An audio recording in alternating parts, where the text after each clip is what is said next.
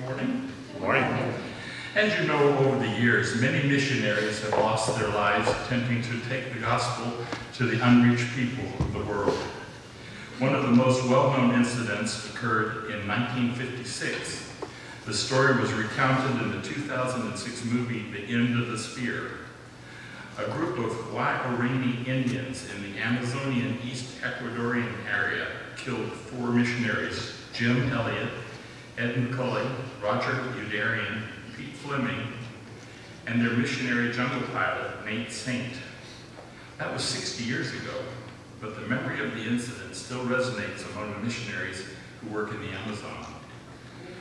The Amazon River is the longest river by discharge of water in the world, and according to some experts, the longest river in length. It is vital to Colombia, Peru, Ecuador, Brazil, Venezuela, and Bolivia. I thought about merging clips from several videos that I found together, but there's so much interesting content that I have decided to devote September to missions in the Amazon. For the next three or four weeks, I will show you videos and tell you about several groups of missionaries who are working to reach the unreached people groups who live in the Amazon.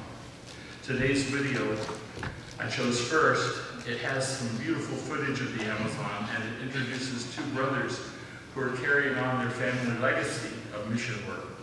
They feel that they are not just pastoring their local flock, they are training missionaries who will reach out far and wide in the Amazon, and they feel like they're pastoring to the entire Amazon area as a result. Take a look.